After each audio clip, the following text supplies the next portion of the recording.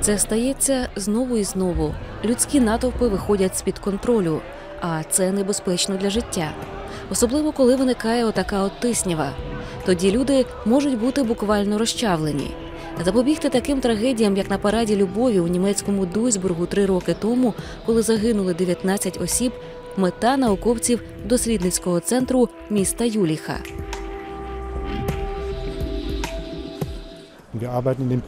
Над проектом Базіго ми працюємо разом з пожежниками, поліцейськими та службами безпеки і спільно шукаємо шляхи, аби підвищити рівень безпеки на масових заходах.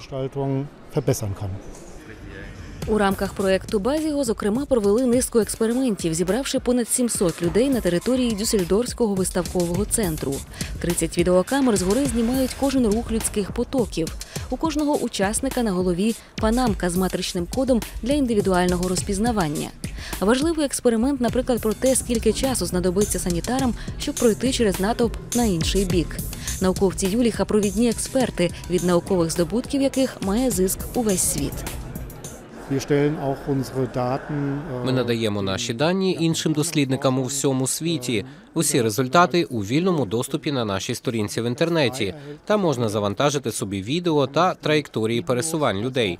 Я буду лише радий, якщо якісь науковці зможуть скористатися даними чи навіть покращити їх.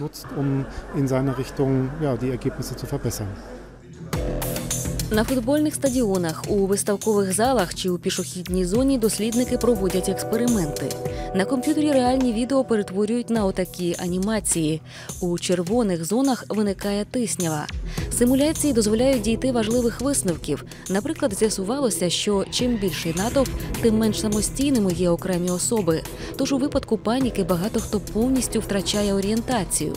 Лише спеціальні вказівники можуть запобігти хаосу.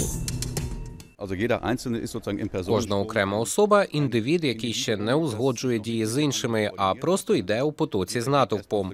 Якщо сам натовп не виробляє зразків раціональної поведінки, то найкращим вирішенням є навіювання їх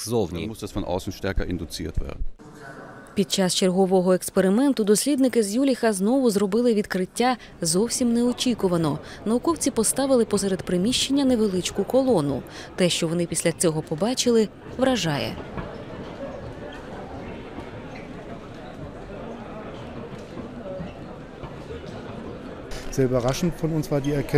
Несподіванкою для нас стало те, що коли додати колону, це допомагає. У людей ще менше місця, але колона допомагає уникнути скупчення людей. Це був результат, який можна було дійсно відразу візуально сприймати. Аби проаналізувати дані і з'ясувати, що відбувається зі швидкістю руху чи густотою натовпу, знадобиться ще півроку. Однак, поки вже те, що можна було безпосередньо побачити, дуже цікаво.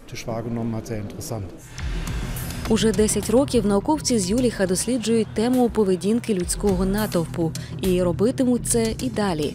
Адже завдяки їхнім дослідженням трагедії під час масштабних заходів майже завжди вдається уникнути.